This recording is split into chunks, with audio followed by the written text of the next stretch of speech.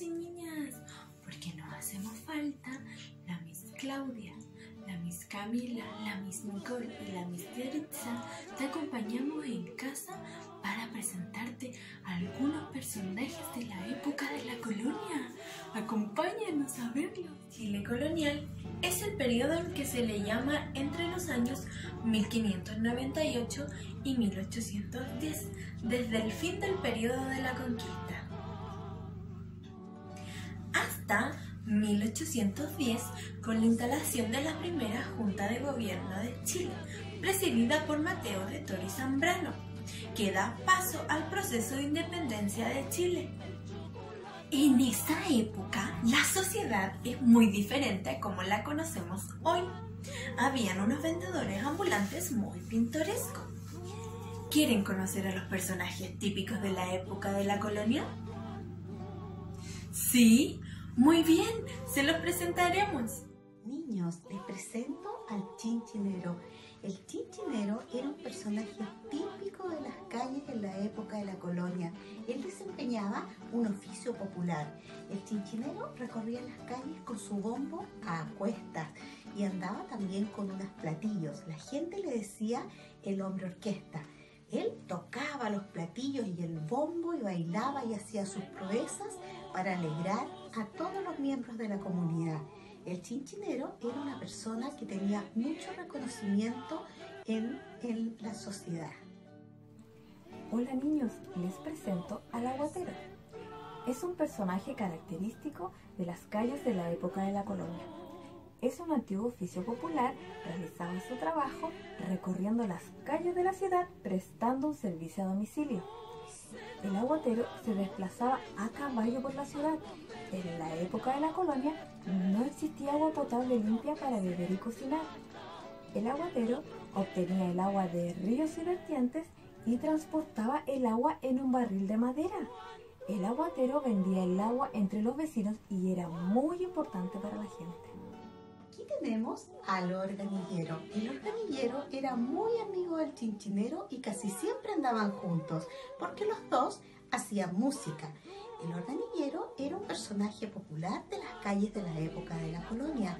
Él recorría las calles con su organillo al hombro y llevaba también un lorito amaestrado, que después lo cambió por un monito. El organillero se paraba en las esquinas, tocaba su música, muchas veces en compañía del chinchinero, pero él además tenía pelotas que colgaban de los elásticos y muchos remolinos que encantaban a los niños de la época de la colonia. Les cuento, niños, que el organillero y el chinchinero todavía se ven en esta época actual. ¿Ustedes han visto alguno?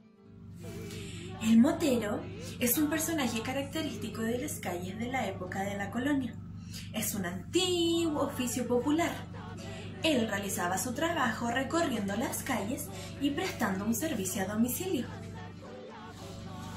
El motero caminaba por las calles gritando ¡Motemey, pelao, el mello calentito! El motero vendía mote, castañas, camote cocido y piñones.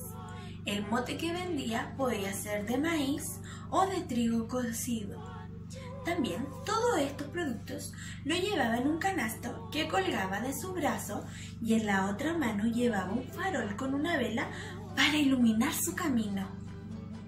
Niños, también tenemos al lechero, que es un personaje característico de las calles de la época de la colonia y es un antiguo oficio popular que realizaba su trabajo recorriendo las calles de la ciudad prestando un servicio a domicilio.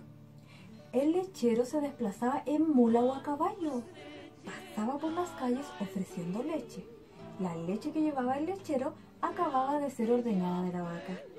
Y el lechero llevaba su leche en dos grandes tarros. Las mujeres llevaban jarrones desde sus casas para comprarle el lechero. El velero es un personaje característico de las calles de la época de la colonia. Es un antiguo oficio popular. Realizaba su trabajo recorriendo las calles de la ciudad, prestando un servicio a domicilio. El velero recorría a la ciudad a pie. En la época de la colonia no había luz eléctrica, Por eso existía el oficio del, del velero. El velero vendía velas de cebo y se hacían a mano. Llevaban las velas colgando de la mecha de un palo. El velero vendía velas para iluminar las cosas. Y por último, el heladero. Es un personaje característico de las calles en la época de la colonia. Es un antiguo oficio popular. Realizaba su trabajo recorriendo las calles de la ciudad prestando su servicio a domicilio.